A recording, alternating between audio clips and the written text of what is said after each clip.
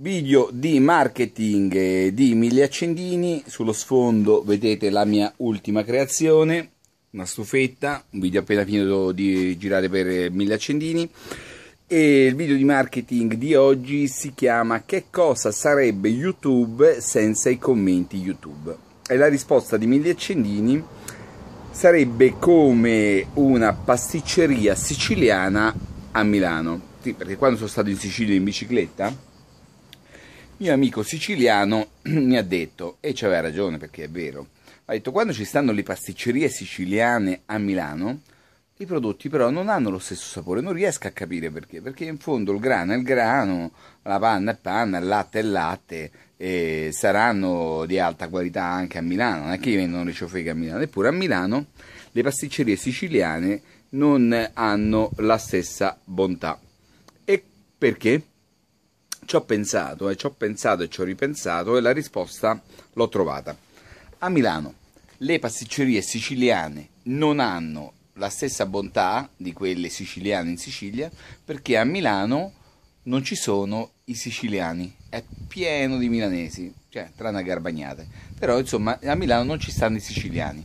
E questo è molto importante perché i siciliani sono molto critici, quando vanno e in pasticceria si complimentano. Ehi oggi la ricotta ti è venuta benissimo. In siciliano lo dicono non so come. Ti è venuta una bontà una squisitezza sta ricotta. Oggi ti è venuto male oh, ti è venuto meglio ieri eh. quindi essendo molto intenditore il pubblico il cuoco lo chef è sottoposto a una continua critica negativa positiva comunque molto competente e molto attenta. E quindi e quindi in un posto dove c'è una continua attenzione eh, chi sta attento ai feedback corregge continuamente il tiro. E quindi eh, è per questo che YouTube eh, supererà la televisione perché le persone perlomeno più attenti al marketing che lavorano su YouTube poi, poi statisticamente eh, sono quelle che vanno in cima insomma quelle che stanno più attenti a, al marketing eh, tra le varie cose devono stare sicuramente attenti ai feedback che arrivano dal pubblico dai più o meno competenti. Un altro motivo potrebbe essere, un'altra considerazione è come mai YouTube Italia è una così schifezza eh, di, di, anche perché, ecco, perché è inondata da bimbi minchia, ma questo però succede, succede in tutto il mondo, quindi, quindi diciamo la fetosità del pubblico, di un determinato tipo di pubblico, fa sì che eh, i video poi emanino fetore.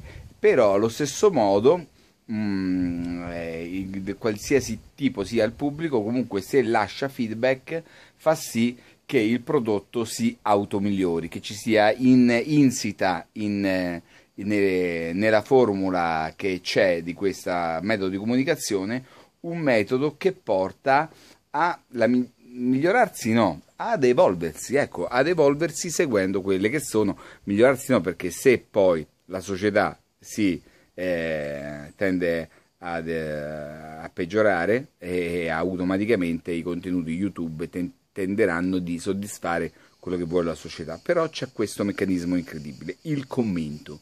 Il commento. Quindi ragazzi, se volete lasciare un commento, pollice in su invece è obbligatorio. Mi raccomando, pollice in su.